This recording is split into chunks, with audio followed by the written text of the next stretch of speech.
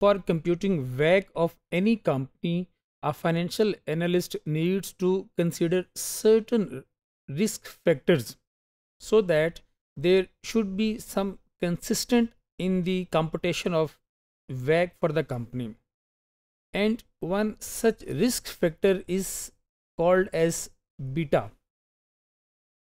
Now, what is beta? If we define beta, beta is a parameter that measures the riskiness of investment with reference to the riskiness of the market as a whole. In fact, uh, beta is required when we compute the cost of equity through the capital asset pricing model. The estimation of beta is not an easy task. However, there is a model commonly known as a market model. Through this model, we can estimate the value of beta uh, while regressing the uh, re returns of a company against the returns of market. So the resulting value is called as the beta. If we de uh, derive the equation of this regression model, we can have an equation like RT is equal to A hat plus beta hat into Rm and over the time period of t this regression is done.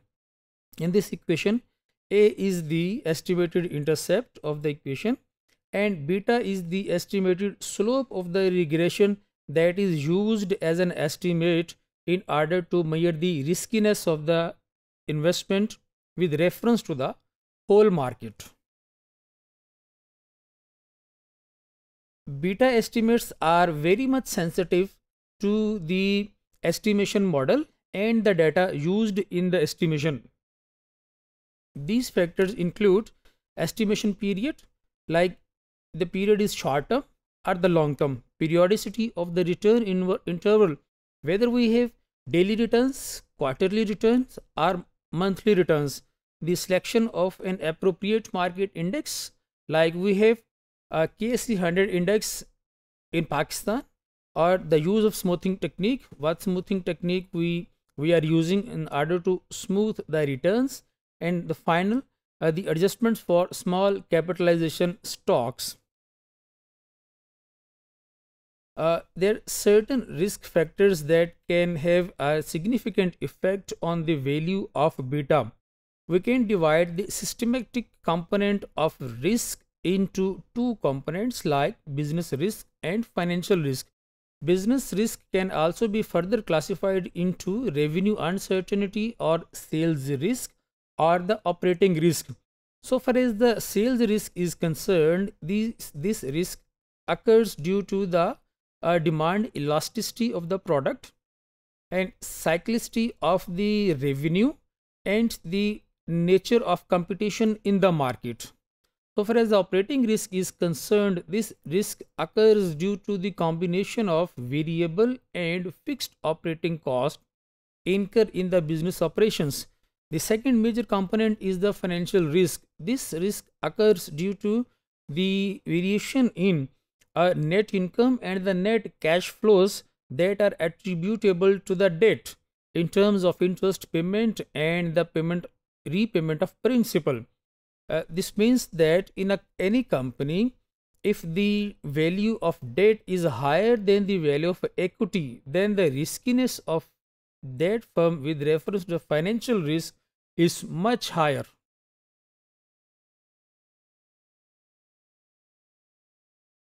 To determine or estimate beta for a listed or quoted company is very much easy because number one, the returns of such company are easily available uh, on on any uh, stock exchange where the firm is listed.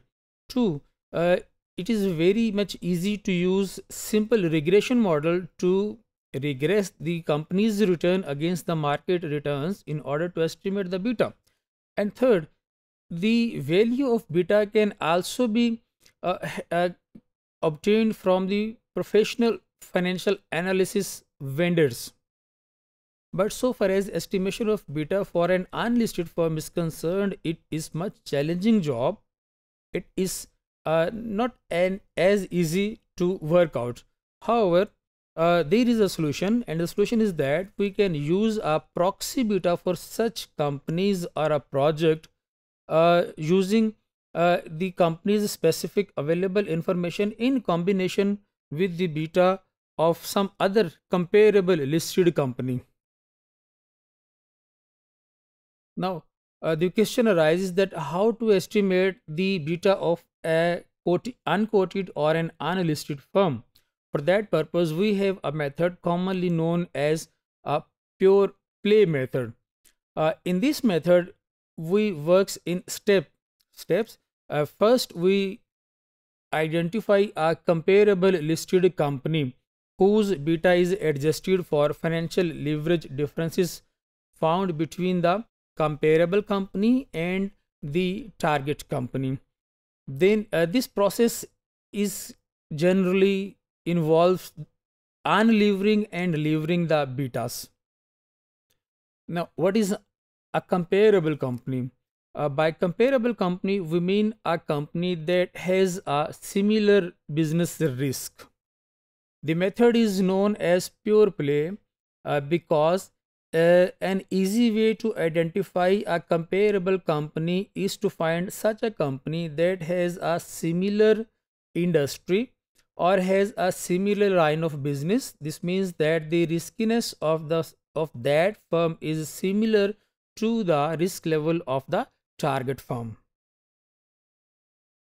The pure play method works in four steps in step 1 we need to select a comparable company that has a similar level of risk as the riskiness of the target company. In the second step, we need to estimate the equity beta of the comparable company. Then in the third step, we need to unlever the equity beta of the comparable company through the removal of a financial risk component but we would be retaining the business risk component in that particular beta. This means the beta with the remaining uh, risk component will be termed as the asset beta. So we are unlevering the equity beta of the comparable company into the asset beta of that comparable company. In the fourth step, we will lever the project's beta uh, by adjusting the asset beta for the project's specific financial risk. This means that the asset beta we found in third step will be converted into levered beta of the project using the financial riskiness and financial uh, capital structure information of that particular project or the target company. Now, how this unlevering and levering of the beta would take place. We know that any company's equity beta can be unlevered in order to estimate the asset beta. This means that in order to do that, we have to develop a relationship between the assets and equity of the company. Uh, this means that we have to develop a relationship between the market risk of the company's assets and uh, and the market risk of the company's equity. So we are we are computing the company's assets betas and equity beta. We also know that a company's risk is generally shared by its creditors and its owners and the company's asset risk is basically the weighted average risk of the market riskiness of its debt and the market riskiness of its equity if we derive an equation we can de de develop an equation by saying that beta a yeah asset beta is equal to the weighted average uh, beta of uh, uh, debt and weighted weighted average beta of equity. Now uh, we we know that uh, the there is a ratio between debt and equity and in order to determine that ratio we need to divide individually debt and equity with the total capital. Here we know that interest is a tax admissible item. This means that when computing the weight of debt in the total capital, the debt weight will be lesser than the total debt due to the tax shield. and to compute the after tax effect of debt we need to uh, we need to multiply the debt with the uh, uh, factor of 1 minus t. Here t means the marginal tax rate. And we mean uh, here that a debt due to secured payment against the company's asset has no market risk. This means that the return on debt does not vary with the market return. And this uh, further means that the beta of debt or the riskiness of debt is equal to zero. Then we uh, mean that the beta of asset is similarly equal to the beta of equity and if we rearrange this equation we can have a beta of asset is equal to the beta of equity or equity beta uh, with a, a factor of the company's non-diversifiable uh, uh, uh, financial risk. Uh, so we can say that the market risk of a company's equity is basically affected by the assets market risk and a non-diversifiable risk of the company's financial component. On the screen, we have an example. Suppose a company has an equity beta of 1.5, a debt equity ratio of 0.4 and a marginal tax rate of 30%. Then what would be the company's asset beta? So we have an equation of asset beta to first it unlever the resulting beta is 1.17 now if we assume that there is a company which have no debt then its asset beta is equal to equity beta which we have just computed at 1.17 now we assume that if we increase the debt this beta will also be increasing uh, using this example, we can compute the equity beta given the company's debt equity ratio of 0.5. So putting these value into the equation of equity beta, we have an equity beta of 1.59. So when we have unlevered beta, the value is 1.17 and while levering this asset beta, we have the equity beta which is 1.59. So the conclusion is that the unlevering computation produces a company's asset beta without considering its capital structure.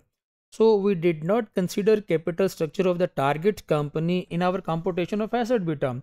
But when, when we are levering the computation for the target company's equity beta, then we are using certain factors like asset beta which is which is unlevered beta the target company's tax rate and the target company's capital structure which is 0.5 in our example.